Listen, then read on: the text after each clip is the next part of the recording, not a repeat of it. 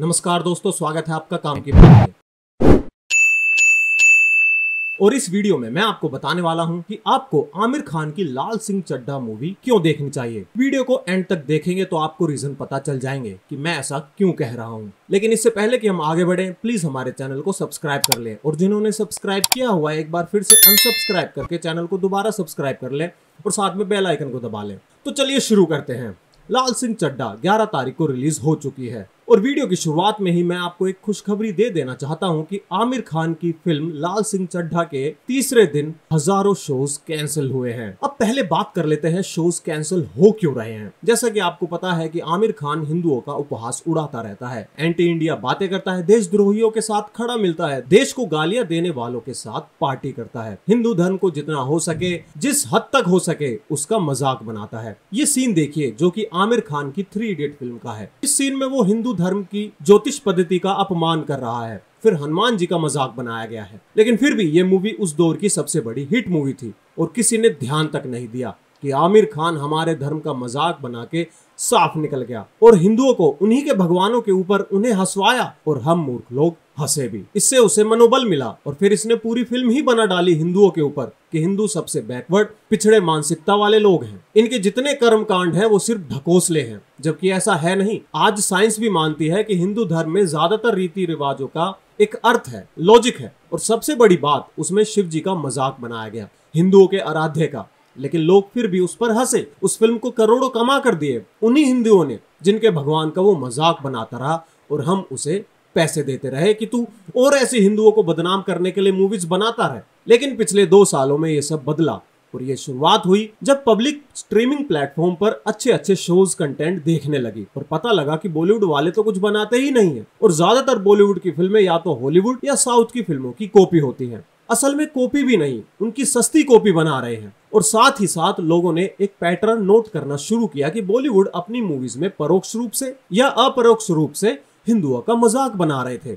उनके भगवान रीति रिवाजों को जितना हो सके उतने गलत तरीके से दिखा रहे थे और इसका खुलासा बहुत अच्छे तरीके से किया ट्विटर पर जेम्स ऑफ़ बॉलीवुड ने।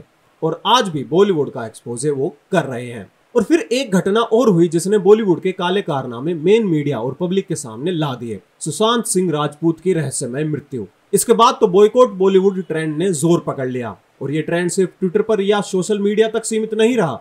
इस ट्रेंड ने अपनी जमीनी तौर पर पकड़ बनाई और एक के बाद एक फ़िल्में फ्लॉप होने लगी। शुरुआत में सब बॉलीवुड वाले यही सोच रहे थे कि फ़िल्में फ्लॉप होने की वजह कुछ और है। लेकिन धीरे धीरे बॉलीवुड को अंदाज़ा होने लगा है कि अब ज़्यादातर हिंदू जाग गए हैं। और वो ऐसी फ़िल्में नहीं देखेंगे जिसमें उनके ही धर्म का मज़ाक बनाया जा रहा है। उनके भगवानों का उपहास उड़ाया जा रहा है। या इंडियन आर्मी को दोयम दर्जे का दिखाया जा रहा है, या फिर भारत देश को किसी भी तरीके से दुनिया के आगे नीचा दिखाया जा रहा है। बॉयकॉट बॉलीवुड का ट्रेंड का असर हमें लगातार देखने को मिला। इसकी शुरुआत हुई थी अक्षय कुमार की लक्ष्मी बॉम्ब से, जिसमें हिंदुओं की छवि खराब, गलत दिखाई गई और मुसलमानों की छवि को सही दिखाया गया। फिर इसके बाद मानो बॉलीवुड की जितनी भी फ़िल्में आई, वो सब फ्लॉप हो गई। आप इस लिस्ट में सब देख सकते हैं। चलिए अब बात करते हैं आमिर खान की लेटेस्ट फ़िल्म लाल सिंह चड्डा की, जिसकी जितनी बुराई की जाए कम है। ये फ़िल्म एक आतंकवाद है उन लोगों के लिए जो थिएटर में इसे जाके देखने की सोच रहे हैं या जो देख रहे हैं। लेकिन मैं फिर भी इस फ़िल्म को आपको देखने के लिए कह रहा हूँ। वो इसलिए क्योंकि आप भी देखिए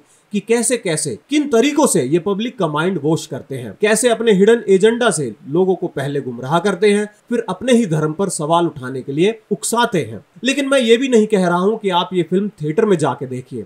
नेट पर ऐसी कई वेबसाइटें अवेलेबल है जिसपे ये मूवी इलीगल तरीके से आ गई है। देखिए, पारेसी करना गलत बात है, लेकिन फिर भी सिर्फ़ इंफॉर्मेशन के तौर पे अगर आपको जानना है कि लाल सिंह चड्डा की पायरेसी कहाँ हो रही है, मैं आपको उस वेबसाइट का लिंक दे देता हूँ। लिंक आपको नीचे डिस्क्रिप्शन बॉक्स में मिल जाएगा। तो चलिए अब मैं आपको ये बताता हूँ कि इसकी सबसे घटिया चीज़ क्या है। एक तो ये फ़िल्म कॉपी फ़िल्म है, लेकिन जो ओरिजिनल फ़िल्म थी वो दो घंटे की फ़िल्म थी, लेकिन आमिर खान ने इसे खींच के तीन घंटे की फ़िल्म बनाया और जितना हो सके उन एक्स्ट्रा सीन्स के द्वारा अपना प्रोपेगेंडा दिखाने की कोशिश की है। लेकिन एक बात तो कहनी पड़ेगी एक दो जगह मेकर्स ने सही भी दिखाया है। उसकी बात मैं बाद में करूँगा। अब आमिर खान ने आधी फ़िल्म में तो ये दिखाया हुआ है कि पाकिस्तान के लोग कितने अच्छे हैं। फ़िल्म में इंडियन आर्मी के जवानों को रूडली प्रेजेंट किया गया है और नागा चैतन्य के चड्डी बनियान वाले जोक को, जो कि हद से ज़्यादा क्रिंज लगता है, उसे बहुत लंबा खींचा गया है। और नागा चैतन्य भी आमिर की तरह ही कम दिमाग वाला लगता है। अब सबसे बड़ी बात ये कि दो दो कम दिमाग वाले आदमी इंडियन आर्मी में कैसे भर्ती कर लिए गए, ये इन्होंने ना दिखाया, ना बताया। इन्होंने या तो ये दिखाने की कोशिश की है कि इंडियन आर्मी में किसी को भी भर्ती कर लिया जाता है, चाहे वो मेंटल ही क्यों ना हो, या फिर ये दिखाने की कोशिश की है कि इंडियन आर्मी में ऐसे पागल लोगों को भी ऑफिसर बना दिया जाता है।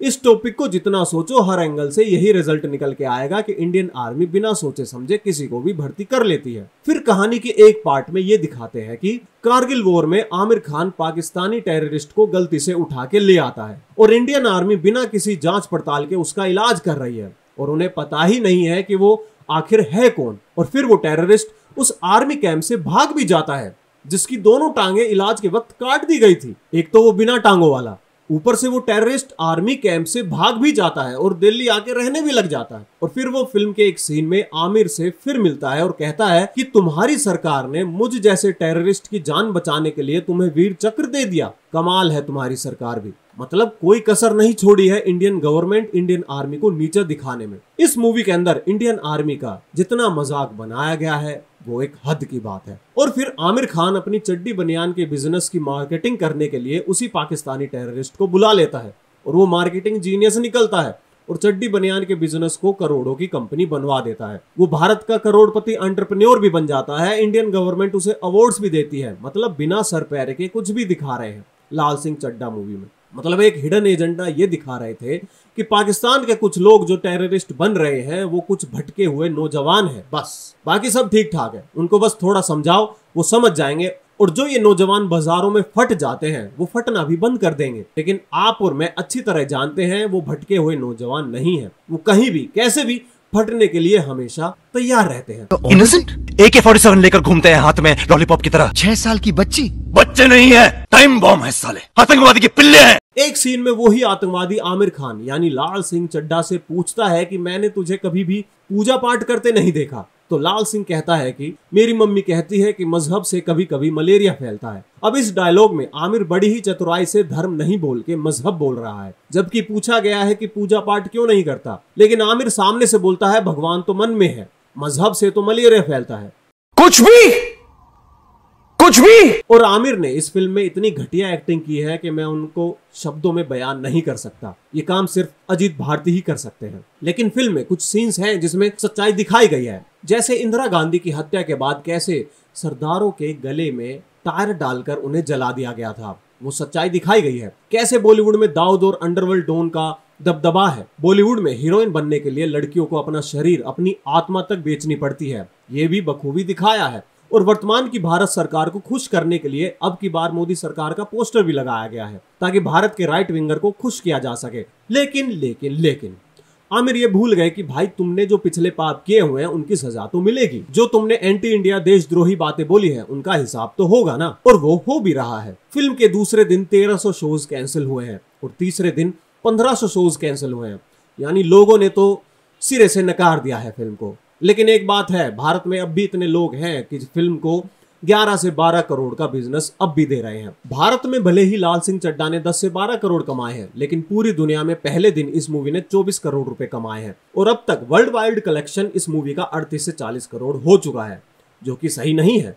हमें जितना हो सके इस मूवी से अपने दोस्तों को, पड़ोसियों को, जानकारों को या फिर अजनबियों तक को बचाना है। आपको एक बात और बता दूँ, आमिर की मीडिया ग्रुप कंपनी इस मूवी को पाकिस्तान में रिलीज़ करवाने के लिए एनओसी लेने के चक्कर में है। आमिर को अब ये तो पता है कि यहाँ तो मूवी हिट होने से रही। क्या पता पाकिस्तान से ही कलेक्शन हो जाए और फिर इसका फेवरेट देश चाइना तो है ही, जहाँ इसकी मूवी पता नहीं कैसे हज़ारों करोड़ रुपए कमा लेती है। लेकिन अब इसके बारे में ये भी बोला जा रहा है कि ये फ़िल्में भारत में इतना नहीं कमाती, चाइना में कैसे कमा लेती हैं। कई लोगों का कहना है कि आमिर अपनी इन फ़िल्मों से अपने काले धन को सफ़ेद में कन्वर्ट करते हैं। भगवान ने चाहा तो इसका एक्सपोजे जल्दी ही होगा। और आपको एक बात और बता दूँ कि आमिर की इस मूवी पर एफआईआर दर्ज करवा दी गई है इंडियन आर्मी के खिलाफ बोलने के लिए। तो दोस्तों, आपको ये वीडियो कैसी लगी कमेंट करके ज़रूर बताना, और जिन्होंने गलती से फ़िल्म देख ली है, वो भी कमेंट करके बताएँ कि आपको फ़िल्म अच्छी लगी या बुरी लगी, या उसमें क्या बुरा था। चैनल को सब्सक्राइब कर लेना, जिन्होंने किया हुआ एक बार अनसब्सक्राइब करके दोबारा सब्सक्राइब कर लेना, और बेल आइकन दबा लेना। हो सके तो हमारी आर्थिक सहायता भी आप कर सकते हैं। यूपीआई आईडी आपकी स्क्रीन पर दिख रही है। मैं मिलूँगा आपसे नेक्स्ट वीडियो में, तब तक के लिए नमस्कार।